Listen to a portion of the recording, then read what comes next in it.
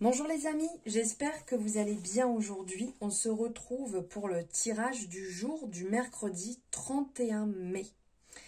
Alors, l'ange du jour est Jabamia. C'est la sainte Pétronile Pierrette. Donc, bonne fête à vous.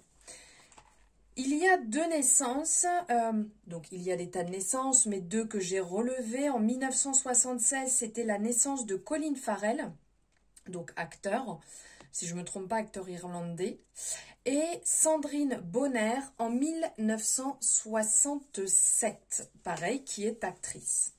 La, la situation, la citation pardon, du jour, la véritable éloquence consiste à dire tout ce qu'il faut et à ne dire que ce qu'il faut.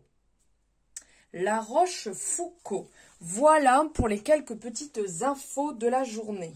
Et on va aller voir ici avec le tarot.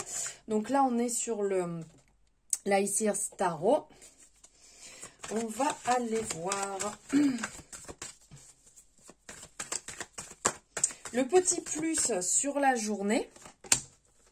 Alors ici, on est avec l'empereur. Donc en fait, le plus de la journée, c'est qu'on va être carré. C'est qu'on va peut-être euh, être vraiment dans une construction, dans une structure. On va être bien en place. On va être déterminé sur ce qu'on met en place. On va aller voir. Hop.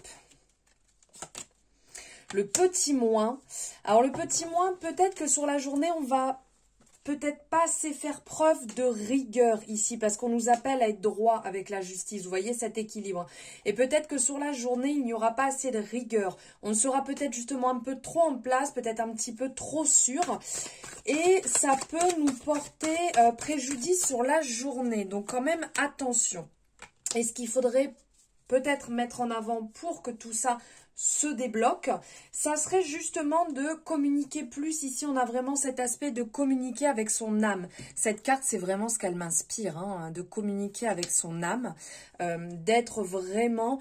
Euh, complet à ce niveau-là, d'être dans une certaine complétude, d'être dans une authenticité et pourquoi pas dans le pardon de soi-même. C'est pas grave si aujourd'hui on n'est pas assez carré, qu'on fait peut-être un peu preuve de laxisme dans, dans certaines choses, ce n'est pas dramatique, c'est que la journée devait se passer comme ça.